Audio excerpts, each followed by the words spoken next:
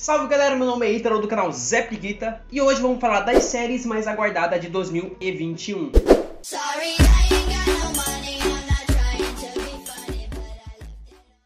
TVs em 2021 será repleta de novidades, especificamente nos serviços de streaming. O ano de 2020 foi bastante difícil, mas o mundo do entretenimento não deixou ninguém na mão. Foram diversas novas temporadas e lançamentos que nos fizeram companhia no período de isolamento social devido à Covid-19. Mas 2021 está chegando com inúmeros lançamentos, alguns confirmados e outros sem data certa. Ainda assim, as expectativas são enormes. Afinal, além dos já consagrados Netflix, Amazon Prime, HBO e Globoplay, o Disney chegou no mercado recentemente para ficar no mercado, que ainda dará boas-vindas ao HBO Max. Embora Marvel esteja chegando em peso para as telinhas esse ano, haverá muitas estreias para todos os gostos. E para começar com uma dos mais tops, vamos começar com WandaVision, uma das séries que foi mais aguardada e já está disponível para assistir no Disney+.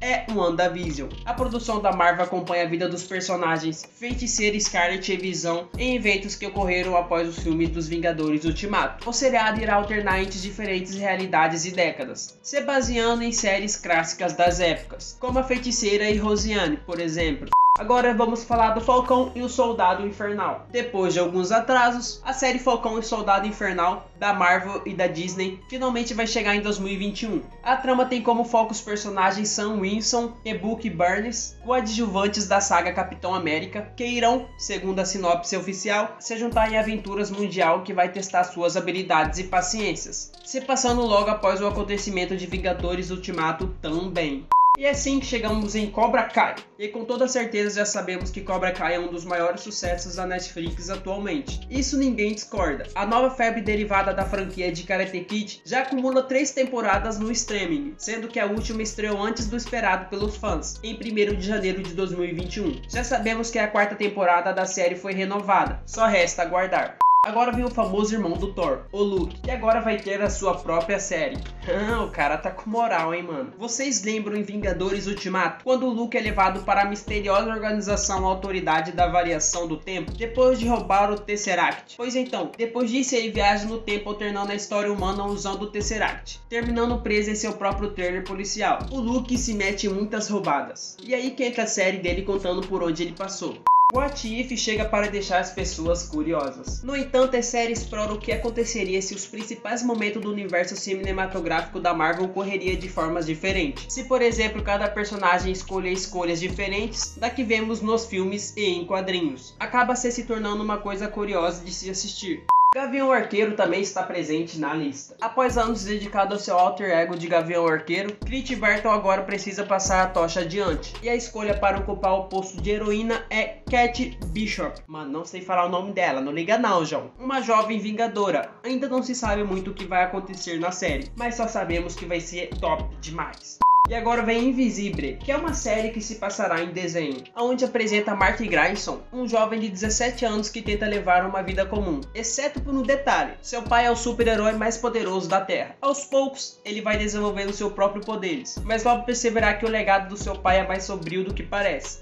Mandaloriano. A primeira temporada de Mandaloriano eu gostei muito. Também sabemos que essa série foi uma das mais curtidas, e fazendo assim ser da mais esperada para a segunda temporada. Pouco se sabe, mas na trama da nova temporada, o Mandaloriano e a criança continuam sua jornada, encarando inimigos e mobilizando aliados, à medida que traça o seu caminho por uma galáxia perigosa, em uma tumultuada era pós-colapso do Império Galáctico. Eu já assisti todas as temporadas de Stranger Things e só falta esperar a próxima temporada. As filmagens da quarta temporada de Stranger Things começaram em janeiro e deve durar até agosto, fazendo com que a previsão mais otimista da estreia seja no último trimestre deste ano. E sabemos que o primeiro trailer oficial da quarta temporada acabou de vez com as dúvidas e confirmou que Hopper está sim vivo. O xerife de alguma maneira foi parar em alguma Golândia soviética, como sugeriu a cena pós-créditos dos anos anteriores. E sua passagem pela União Soviética deve ganhar bastante espaço nos capítulos inéditos, que a gente deve estar louquinho e ansioso